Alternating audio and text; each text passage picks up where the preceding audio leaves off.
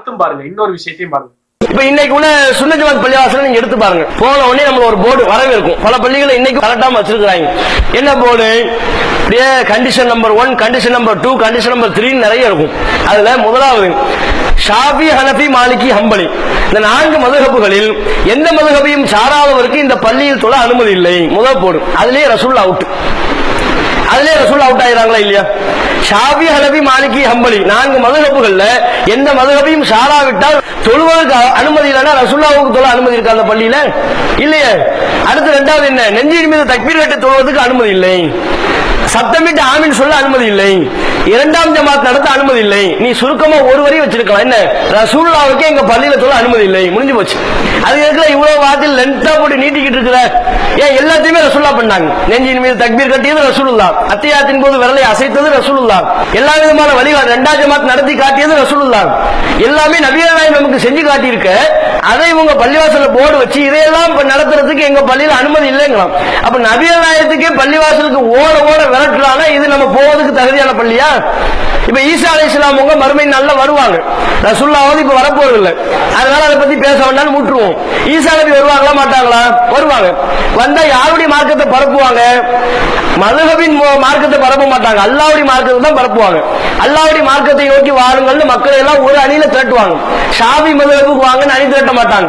ஹனபி மதுஹபுக்கு வாங்கன்னு அணி திரட்ட மாட்டாங்க. அல்லாவின் மார்க்கத்துக்கு வாங்கன்னு ஒரு குரூப்பை நோக்கி ஈசா இஸ்லாம் அவங்க அணி திரட்டுவாங்க. அப்ப அவங்க எந்த மதுஹபும் இல்ல.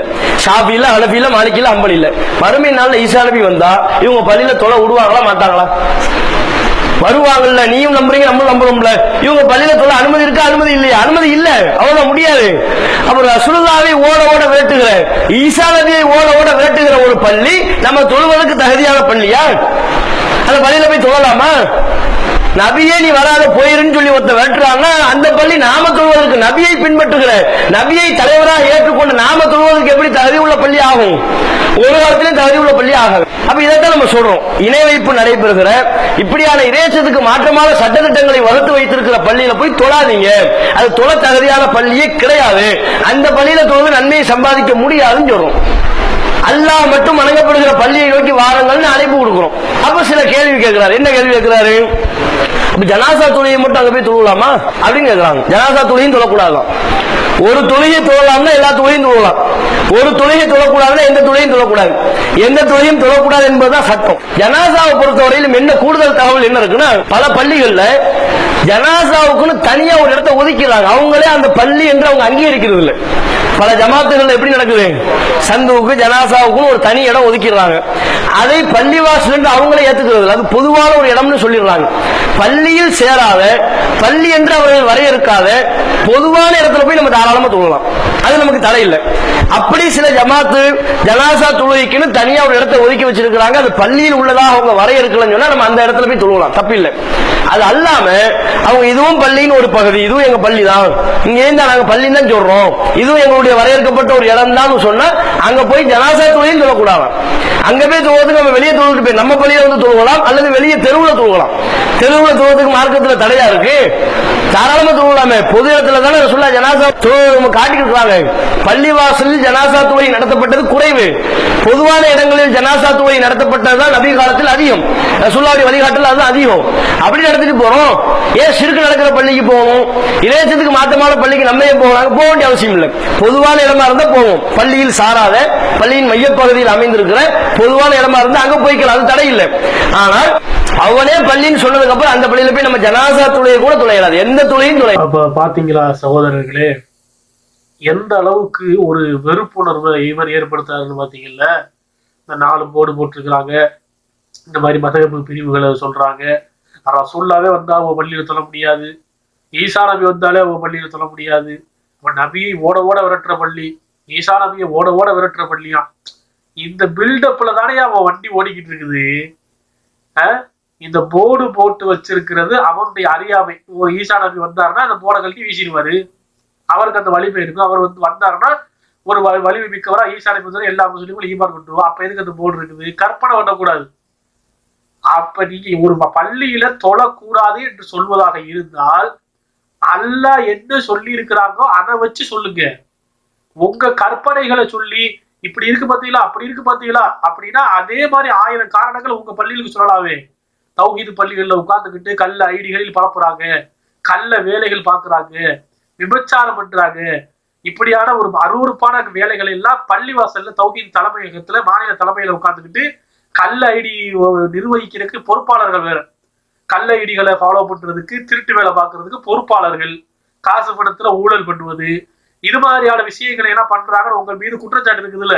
அப்ப இதெல்லாம் சொல்லி இது மாதிரியான ஒரு கேவலமான ஒரு பள்ளிவாசலா இந்த தௌஹீது பள்ளிகள் இருக்குது அப்படின்னு ஒருத்தர் விமர்சனம் பண்ணுனா அது எப்படி இருக்கும்?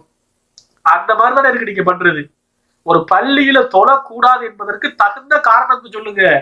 அல்லாஹ் தடுத்து விட்டான்னு காட்டுங்க வேலை முடிஞ்சு. இல்ல அல்லாவோட தூதர் தடுத்து இருக்கிறாங்க இந்த தன்மை இருந்தா தொழக்கூடாதுன்னு காட்டுங்க வேலை முடிஞ்சு வச்சு ஆனா அதுக்கு மாற்றமால இருக்குது. ரசூல்லா வந்து இணை வைத்த நிலையில் சிலை வணக்கம் நடந்த நிலையில் போய் தொழுதாங்களே. அப்படிலாம் எங்களுக்கு ஆதாரம் கிடைக்குது. காபத்து அளவு தொழுதுருக்கிறாங்களே ரசூல்லா சிலை வணக்கம் முன்னூத்தி அறுபது சிலையை வச்சு வணங்கினானே சிலை வணக்கம் கொடிகட்டி பறந்த போதே ரசூல்லா அந்த இணை வைக்கிற நிலையில் போய் அங்க தொழுது இருக்கிறாங்களே நீங்க சொல்றதுக்கு முரண்பாடா இருக்குது. ரசூல்லாவோட வழிமுறை இப்படி இருக்கு. நீங்க இணை வைக்கிற இடத்துல தொழக்கூடாதுங்கிறீங்களே. அதுக்கு எங்க ஆதாரம் இருக்குன்னு கேட்டோம்னா உங்க மண்டையில உதிக்கிறது தான். மனோ இச்சை தான் ஆதாரம். அப்படி இருக்கு இப்படி இருக்கு அப்படி புலம்பு தள்ளுறதை தவிர குரானிலிருந்து இந்த இருக்குப்பா சிறுக்கு நடந்தா இங்க தொழுகாத. அல்ல தடுத்துட்டான். சிறுக்கு வைக்கிற பள்ளியில் தொழக்கூடாது இந்த ரசூல்ல தடுத்துட்டாங்க. அப்படின்னு காட்ட முடியவில்லை இல்ல அப்ப காட்ட முடியலைன்னா ஏன் வந்து சொந்த கருத்து இந்த மாதிரியான ஜால்ஜாப்பு வேலைகள் சுய கருத்துக்கள் இது மாதிரியான பித்னாக்களையும் பண்றீங்க. அதுலயும் கூடுதலா ஒரு படி கூட போய் இப்ப என்ன பண்ணிட்டாரு? ஜனாசா தொழுவு கூட தொழக்கூடாது. ஒரு சகோதரர் கேட்டிருக்காரு ஜனாசா தொழுவு தொழுவலாம் பள்ளியா செல்லும் போயிட்டு. அதுவும் தொழுவ கூடாதுட்டாங்க அவ பார்த்துக்க நிறைய ஊர்களில் தௌஹீது சகோதரர்களே உங்க ஆளுங்க தான் பேசியிருக்கிறாங்க. இது இந்த பத்து வாரம் உங்களுக்கே வந்து சேர்ந்திருக்காது என்ன? அப்ப தௌஹீது ஜமாத்தினுடைய ஒரு ஜனாசாவை சுண்ண ஜமாத்து கபுர்சான் அடங்குறிய வைக்கிறீங்கன்னா சில இடப்ப ஊர்கள்ல கூட அனுமதி கொடுத்துருவாங்க. நீ அடக்கிடுங்க தொழுதுங்கன்னு சில ஊர்கள்ல பிரச்சனை நடக்குது சில ஊர்கள்ல அதெல்லாம் கண்டுக்கிறதுல இப்ப எவ்வளவு மாறி விட்டார்கள் ஆனா சுண்ண பள்ளின்னு நீங்க முடிவெடுத்துட்டா அங்க அங்க போய் தொலைவ கூடாது ஜனாசா தொழுகையும் தொழக்கூடாதா? உங்களால சொல்லியிருக்கிறாரு. ஆனா இன்னைக்கு நிறைய ஊர்களில் ஜனாசா தொழுகை தொழுகிறீங்களே. அப்ப என்னதான் ஒரு ஒரு குழப்ப நிலையில இருக்கீங்க பாத்தீங்களா? இதுதான் வழிகேடுகிறது ஒரு தெளிவே இல்லாம ஒரு தாய் என்ன அப்துல் கரீம் கேட்டா என்ன சொல்லுவாரு? ஜனாசா தொழுகை கூட தொலை வேண்டாம் அப்படின்றாரு அல்தாஃபிட்ட கேட்டா தொலை வேண்டாம்ன்றாரு வேற ஒரு ஆள்கிட்ட கேட்டா அதெல்லாம் இந்த ஜனாசா தொழுகை வெளிநாடு தொழுதுக்கிறீங்க அப்படின்றாரு இப்படிதான் ஒரு ஒரு ஒரு கொள்கை கிடையாது. ஒரு குரானதீசை வச்சு ஒரு சட்டம் எடுத்தா தானே ஒரு தெளிவா இருக்கும். அது குரானதீசை கொண்டு எடுக்கலையில தங்க சுய புத்தியை கொண்டு மனோ இச்சையை கொண்டு மனமுரண்டான விளக்கங்கள் எடுத்துட்டதுனால தங்களுக்கு என்ன தோணுதோ மனம் போன ஓத்துல பேசுறது இது அப்படின்னா வச்சுக்கிடுங்க நம்ம போய் ஜனசாத்துல கூட தொழுகாதீங்க அப்படின்னு மத்துவா கொடுத்துக்கிட்டு இது மாதிரியான வெறுப்புணர்வுகளை நஞ்சு மாதிரி இந்த சுனஞ்சமாத்து பள்ளிகள் மீது வெறுப்புணர்வுகளை ஏற்படுத்தி கொண்டிருக்கிறார்கள் அதை நீங்க பாருங்க وقل جاء الحق وزهق الباطل إن الباطل كان زهوقا மேலும் பிரகடனம் செய்வீராக சத்தியம் வந்துவிட்டது அசத்தியம் அழிந்து விட்டது சின்னமாக அசத்தியம் அழியக்கூடியதே أعوذ بالله من الشيطان الرجيم بسم الله الرحمن الرحيم